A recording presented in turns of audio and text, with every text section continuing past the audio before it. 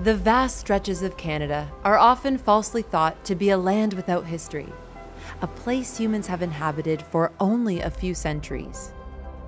But Indigenous peoples here have always maintained that their ancestors inhabited these lands long before that. But tracking the ancestors' movements is a puzzle that can be difficult to piece together, thanks in part to a dramatically shifting landscape. But now, a team of archaeologists are using specialized tech to find caves along the British Columbia coast where there are missing pieces just waiting to be found. Oh, yeah. Could what's hiding in the bare earth be enough to change this narrative?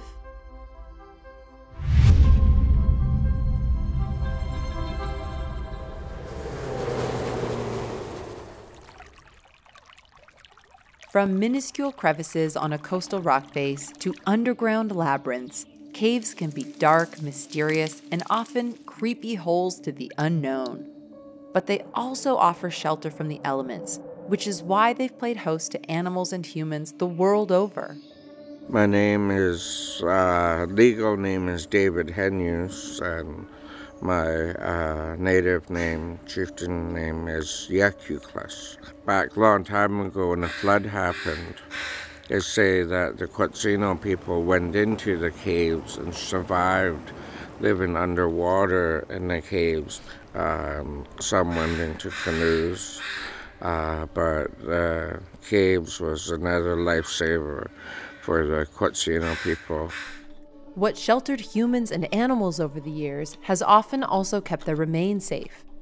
Members of the Quatsino Nation are anxious to see what the archaeologists find in the caves on their territory. To me, it's another um, way of uh, proving that our people have been here that long and longer, and uh, confirms what our legends have been saying.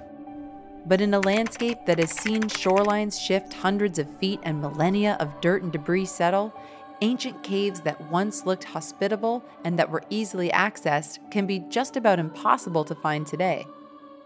Caves are difficult to find because often they're located in very steep, uh, vegetated terrain uh, that most uh, sane people would prefer not to wander into. To find caves, it helps to look for sinkholes, which indicate karst caves below. Karst terrain forms when limestone is dissolved from rainwater and streams. It's best characterized by underground drainage systems. But with all these trees in the way, it's hard to see anything. So, the archaeologists have partnered up with the Hakai Institute's Airborne Coastal Observatory, a plane with a payload of cameras and LIDAR lasers. LIDAR stands for Light Detection and Ranging. The laser scanner measures the distance from the plane to the ground and can virtually strip away the forest to reveal a bare earth model of the landscape below. At Duncan's request, pilot Robin Stewart and LIDAR specialist Steve Beffert flew over an area of Quatsino territory on Vancouver Island earlier this year, using the data to create bare earth maps for the archaeologists. Duncan and his team have investigated dozens of caves in British Columbia over the last two decades, but they've never had this kind of advantage before. In the area we're in right now, we got quite excited because we saw all these dome shaped limestone landforms, and we know that some of these limestone domes have ancient caves in them that were cut maybe millions of years ago Instead of spending weeks or months on the hunt for caves, the archaeologists are now able to quickly go right to a cave identified on the Bare Earth map. Duncan's team includes karst management experts and Quatsino archaeological fieldworkers. With map in hand, they all head out to where X marks the spot. They're looking for two things.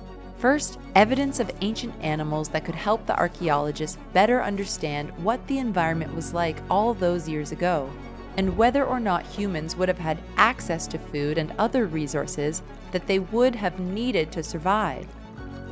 And if they're really, really lucky, they're also hoping to find direct evidence left by ancient humans themselves. The LIDAR maps have led them here to Gooseberry Cave. You take a meter of sediment away from the entrance, and you can almost stand going in. Exactly. It doesn't look like much from the outside, but that's because over thousands and thousands of years, sediment has built up all around the cave as the landscape shifted.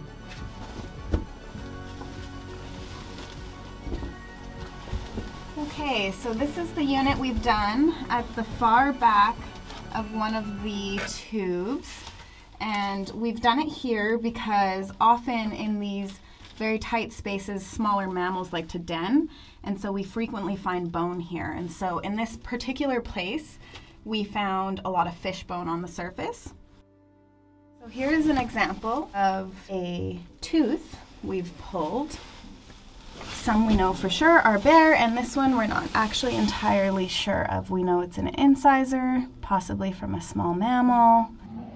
Finding teeth and bone fragments from large predators and their prey tells us the landscape from that time must have been extremely fruitful, with vegetation lush enough to support a diverse ecosystem. It also suggests that humans could have thrived here too. On their first scouting mission to Gooseberry Cave, their research was quickly rewarded. I was carefully looking at the floor of the cave as we went through. My eyes were very close to the ground, and as I crawled past this, I saw these flake scars, uh, which are a Telmark sign that this is a chipstone artifact. And, um, you know, this is pretty rare find. We don't find too many spear points uh, along the coast. So we were very excited to come across this. The artifact can't be aged directly using radiocarbon dating because that technique only works on organic material, like bone or charcoal.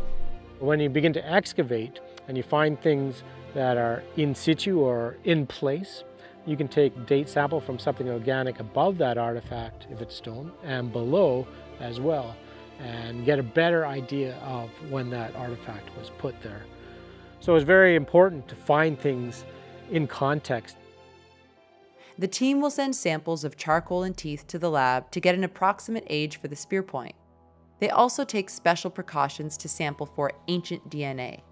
It will take months to get the results back, but in the meantime, they've struck gold again. Oh, wow, gorgeous flake. No. Yeah. Oh. Right Oh. on top of the clay. No. Yeah. Oh yeah. I haven't seen anything like that. When an archaeologist is is as excited as we just heard, it's uh it's a real flake. But how can they be sure it's a tool instead of a naturally broken rock? There are very specific features on a rock that tell us that it's been modified by humans versus being bashed around by other rocks or just by environmental conditions. You have to hit a rock at exactly the right point to result in these types of fractures. It's good that this kind of work is being done and it is um, enabling us to um, prove what we have been saying and prove um, our legends to be true with finding the actual um, evidence and carbon dating it and to um, prove that um, we are the actual uh, first inhabitants of this territory.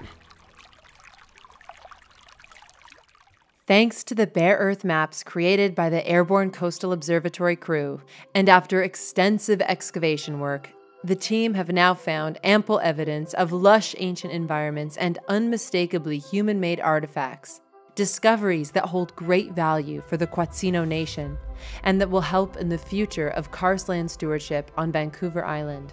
The rest of their work will happen in the lab, so they've backfilled their excavation sites to leave them as they found them and head for home. And now, after months of patiently waiting, they've got the radiocarbon results, which have dated charcoal associated with the spear point back more than 10,000 years, meaning the spear point was left in the cave in the period of time just after the last ice age, once the glaciers had receded from this area. The missing puzzle pieces are here, hiding in the cracks and crevices of our bare earth. All we have to do is look for them.